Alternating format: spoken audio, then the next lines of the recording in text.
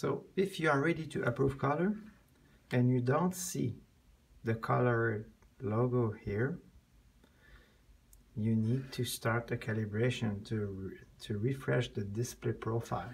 So all you have to do is click here on the Matchprint virtual folder, double click on NV calibrator, then a target will be displayed on the on, on, on the display. So you need to remove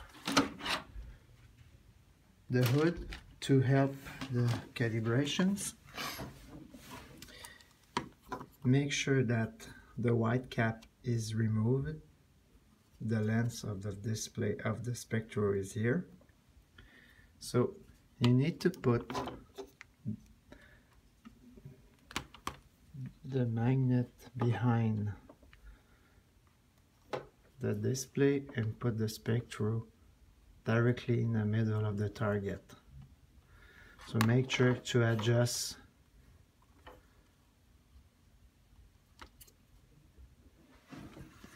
with one hand is not easy but so when it's done you just need to hit go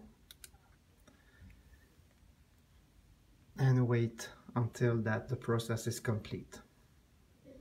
If there is a green sign, a green smile, it means that the calibration has been done correctly.